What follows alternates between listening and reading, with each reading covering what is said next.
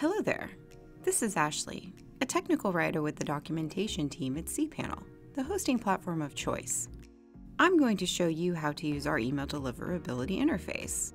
This was previously our authentication interface, but we've renamed this to more clearly describe its purpose and functionality. We've also made some changes that make it much easier to manage your domain's DKIM, SPF, and reverse DNS records. But what are these records, and what purpose do they serve a domain? Well, DKIM, or Domain Keys Identified Mail, verifies the sender and the integrity of a message.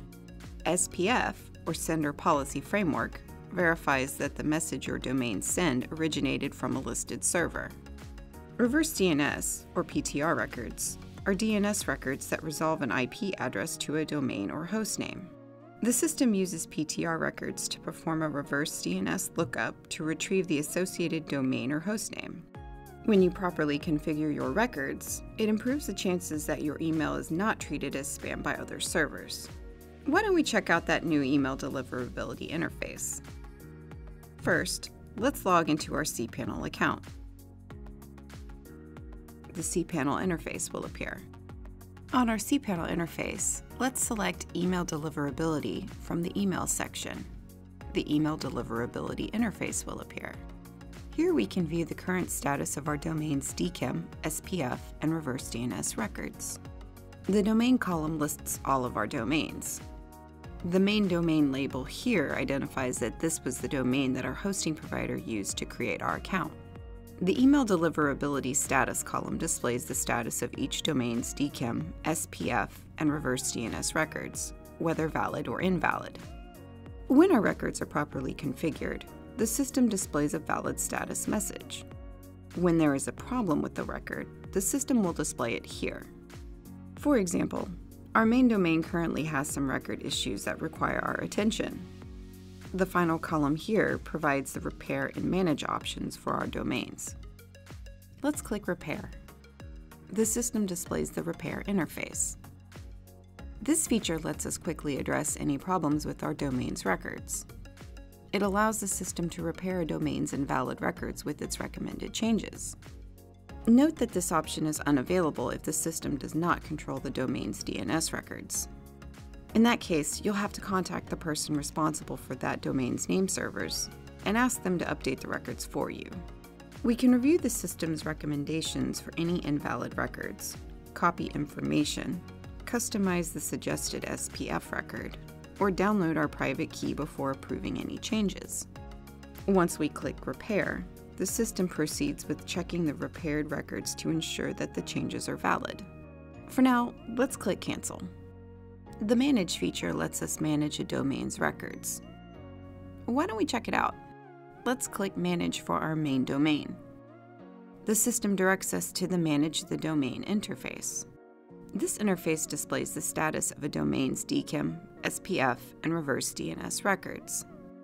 Each section provides the Copy feature, which allows us to copy the provided information to our computer's clipboard. If you use this functionality, don't forget to paste that copied information somewhere. The system only stores the most recent information copied.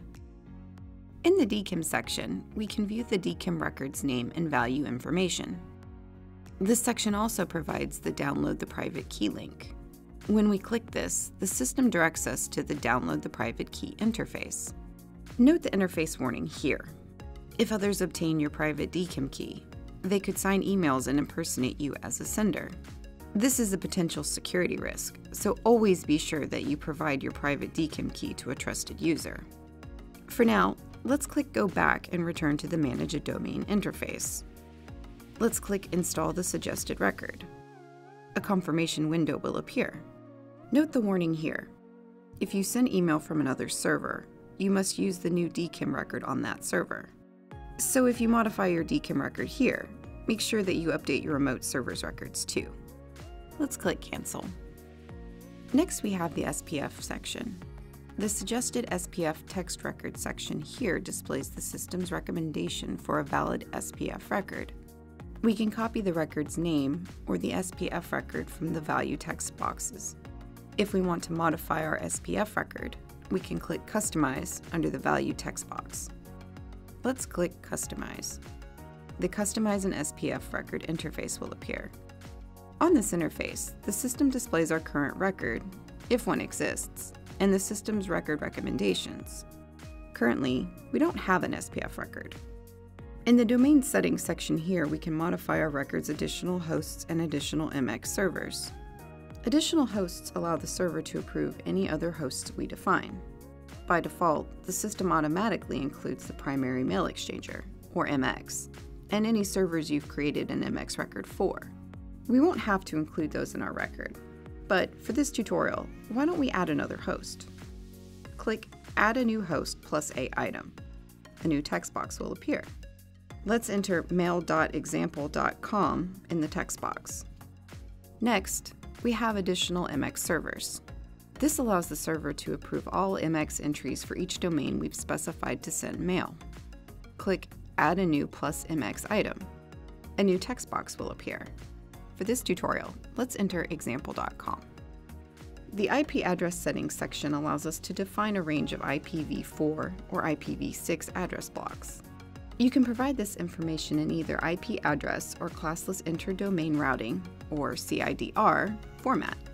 For this tutorial, let's enter another IPv4 address. Click Add a new IP4 item. A new text box will appear. Let's enter 10.0.0.1 in the text box. Finally, we have the additional settings section. The include list lets us define any hosts that we want to include in our record. So if we use a service such as Comcast.com, MailChimp.com, or Google.com, we would want to include that here.